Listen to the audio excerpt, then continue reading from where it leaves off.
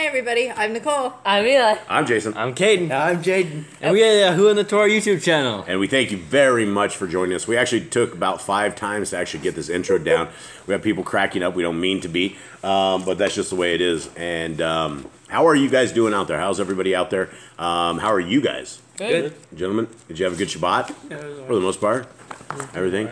Cows broke into our field yesterday, and uh, they were sitting out there eating all of our corn. That was very disheartening. They didn't get all of it, only just a little. Yeah, but they uh, was still on Shabbat, and Nicole's out there picking up sticks. Oh, I shouldn't have said that. Well, it was true. We the gate was I broken. wasn't picking up sticks. I picked up a single two sticks to fix the fence, the gate that was we broken. we we all uh, our oxen not only fell in the ditch, but he jumped into our field and was eating everything, making a ditch. Threw us into the ditch as Yeah, he well. threw us into the ditch, and then he started fighting the boys, and so um, it was it was kind of a rough Shabbat, um, but we made it through that, and um, hope you guys are good. Hope you guys are well, um, and I guess we'll get on. I don't have too much to say. Anyone have anything anything enlightening to say? No. Nothing. No, no, today's the first day. Today's the day you should be in work and not be driving to go pay some dude in the pulpit. Yeah, don't pay some non-Levite guy money on a Shabbat. That's terrible. I don't know. Well, it's not a a Shabbat. It's like a first day, so I guess it really doesn't matter. So I guess the synagogue of Satan. Pay up whenever you want to. All right, let's do it. The handy dandy split screen. Bada bang. And the Grand said we needed a, a drum roll the other day for my bad joke, whatever it was. the son of none. Yeah, the son of none.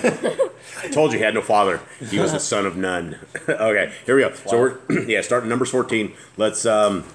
Anybody have a quick recap of this? Okay, so uh, we're going to recap from the last chapter where uh, Yahuwah tells Moshe, he says, All right, so you're going to send a man from each tribe, and you are going to have them spy out their promised land, and they're going to come back and bring a report. So Moses tells them what to do. He says, Go look at the land, go look at the buildings, go look at the trees, go look at the fruit, go look at the plentifulness, go look at the size, go look at the people, and bring a report back, let us know. So they bring back a giant cluster of grapes, and the and we have Caleb and Joshua who are the future leaders of Yasharel after Moses dies. They are destined to be that, and they they say we're ready, we're ready to take this land. And the other eleven people from the tribe of Yasharel, the leaders that were supposed to spy it out, actually said that it was impossible for them. They said it, they're too scared, the people are too large because they were Nephilim, which means they were giants from a corrupted DNA of the fallen angels.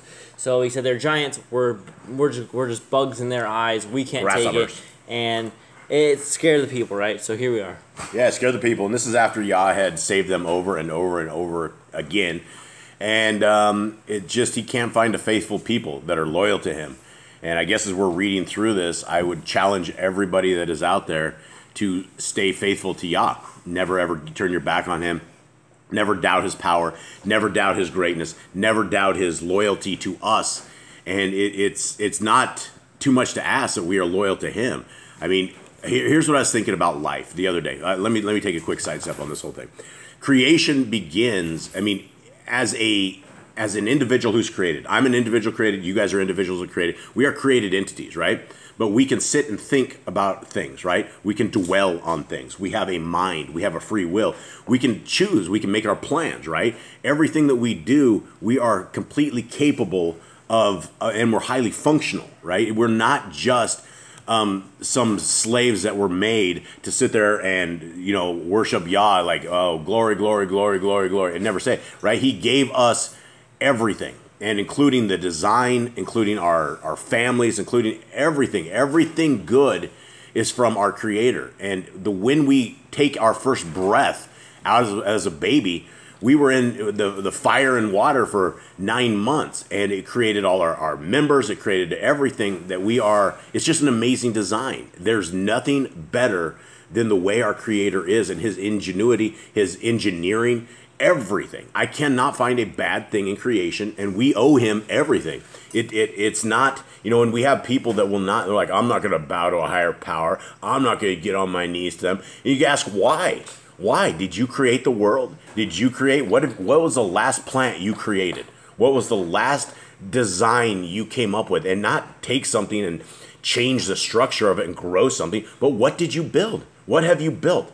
That is our creator who's built a wondrous system and he's he's called his people and every single day we need to glorify our creator. We need to thank him for the day that we have life every single day because he gave life and he can also take life. And everything that we have, every last heartbeat we have is in his hand.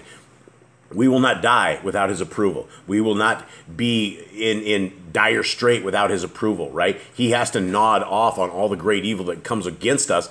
And it's not him, right? It is his forces of evil that are, are that have been put up on this land that are that are doing these kind of things. But he's given us a way, he's given us a hope, he gave us a Messiah, and he gave us a, a, a destination that we can choose our Elohim. We can choose a beautiful path to go. So, yeah, as we get into Numbers 14 and as we see the errors of the old people's way and the lack of faith after these people had just walked across a, sea that was dry, after they had seen all these plagues in Egypt, killing firstborns, hearing the screaming and the wailing of death all around them, hail and all the, the blood in the water, yet they could not figure out the faith. And this is why I'd like to challenge everybody out there not to be these people, but to be strong in your faith and never ever take your eye off the kingdom to come. All right, Numbers 14. And all the assembly lifted up their voice and cried, and the people wept that night. Now, why did the people cry? They were scared of the giants. Yeah, the giants. Again, these beta males standing at the front door crying, right? Ah, dude, don't cry. Don't cry. Stand up, man. Fight. Okay? And all the children of Yashrael murmured against Moshe and against Aaron. And the whole assembly said unto them, Would to Elohim that we had died in the land of Mitzrayim, or would to Elohim we had died in this wilderness. Um, and so I guess a better version of that uh, in NIV says, If only we had died in Egypt. Um, yeah, okay. Yeah, great. Die as slaves instead of free men. Okay, three. And wherefore has Yahuwah brought us unto this land? To fall by the sword, that our women and our children should be a prey? Were it not better for us to return into Mitzrayim? And these are slaves. These are people that were the 400 generation, right? Or 400 years, not 400 generation, but 400 years. So there were at least three or four, there's probably three or four generations that were born in slavery, right? They knew nothing else other than this, but all of a sudden a hand came and delivered these people, and they're like, ah, shouldn't we just died in Mitzrayim? Okay, four. And they said one to another, let us make a captain, and let us return into Mitzrayim. All right, If I were Moses, I would have started beating them all. I would have taken my rod and I would have started beating them all. Uh, it's just they're they're ending up with the dummy award. They're just really getting the dummy award.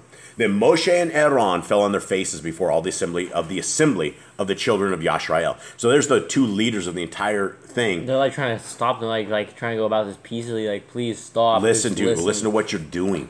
And Yahushua, the son of Nun, and Caleb, the son of Yeh- Yephuneh, which which were of them that searched the land, rent their clothes. They said they tore their garments. Yeah, rent their clothes, tore their garments. Yeah, ripped it off. And they spoke unto all the company of the children of Yashrael, saying, The land which we passed through to search it is an exceeding good land.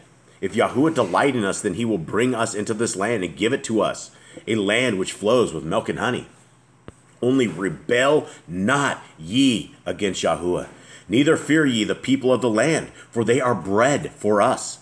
Their defense is departed from them, and Yahuwah is with us. Fear them not. Now here's some young bucks. I don't even know if they're young bucks, but they're younger than I the rest assume of they're them. young because Uh, young. when, he, when he took over the command after Moses died at was like- 120, he was 90. yeah, and Ya- it's, Yahu- Yahusha? that's Yeah. like four years later. Yeah, it is. So anyway, ten. But all the assembly bade stone them with stones, and the glory of Yahuwah appeared in the tabernacle of the assembly before all the children of Yashrael. Now this is this is one of these boys sit down. yeah, he's like he's like about to break this up. Yeah. He's like seeing some crazy stuff happening. These dudes are all about to get. There's about four people about to die right here. And there's the four children people. Yeah, and they're about to like get stony. I was like, hold up, break it up, break it up. It's like dad coming out with a wooden paddle, right? Everybody knows it's on. Uh oh. Okay, 11. And Yahuwah said unto Moshe, How long will this people provoke me? And how long will it be ere they believe me for the, all the signs which I have showed among them? I will smite them with the pestilence and disinherit them, and will make of you a greater nation and mightier than they. And Moshe said unto El Yahuwah, and this is why Moshe is the man. Then the Mitzrayim shall hear it, for you brought up this people in your might from among them, and they will tell it to the inhabitants of this land. For they have heard that you, Yahuwah, are among this people, that you, Yahuwah, are seen face to face, and that your cloud stands over them, and that you go before them by daytime in, in a pillar of a cloud, and in a pillar of fire by night. Now, if you shall kill all this people as one man, Then the nations which have heard the fame of you will speak, saying, Because Yahuwah was not able to bring this people into the land which he swore unto them, therefore he has slain them in the wilderness. And now I beseech you, let the power of my Adonai be great, according as you have spoken, saying, Yahuwah is long suffering and of great mercy, forgiving iniquity and transgression, and by no means clearing the guilty, visiting the iniquity of the fathers upon the children unto the third and fourth generations. Pardon, I beseech you, the iniquity of this people according unto the greatness of your mercy, and as you have forgiven this people from Mitzrayim even until now. And Yahuwah said, I have pardoned according to your word. But as truly as but as truly as I live, all the earth shall be filled with the glory of Yahuwah. Because all those men which have seen my glory and my miracles which I did in Mitzrayim and in the wilderness, and have tempted me now these ten times, and have not hearkened to my voice, surely they shall not see the land which I swore unto their fathers, neither shall any of them that provoked me see it. But my servant Caleb, because he had another Ruach in him, and has followed me fully, him will I bring into the land whereinto he went, and his seed shall possess it. Now the Amalekin and the Cananeum dwelt in the valley, giants. Tomorrow turn you, and get you into the wilderness by the way of the Red Sea. And Yahuwah spoke unto El Moshe and unto El Aaron, saying, How long shall I bear with this evil assembly which murmur against me? I have heard the murmurings of the children of Yashrael, which they murmur against me. Say unto them, As truly as I live, says Yahuwah, as ye have spoken in my ears, so will I do to you. Your carcasses shall fall in this wilderness, and all that were numbered of you according to your whole number, from twenty years old and upward, which have murmured against me.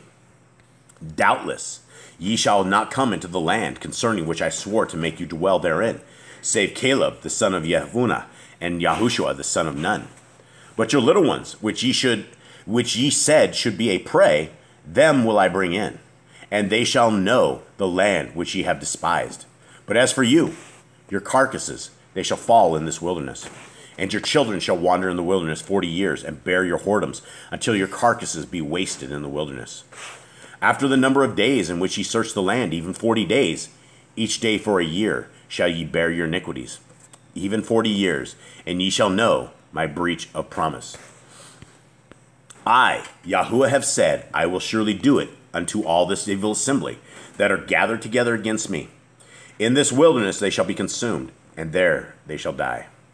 And the men which Moshe sent to search the land, who returned and made all the assembly to murmur against him by bringing up a slander upon the land, even those men that did bring up the evil report upon the land died by the plague before Yahuwah. All right, so what plague? Maybe uh, leprosy because they spoke evil. I don't know. We did- we don't we don't know exactly what it was, but they all Well, they all died off. I assume Yep. fairly quickly. yeah, died by plague.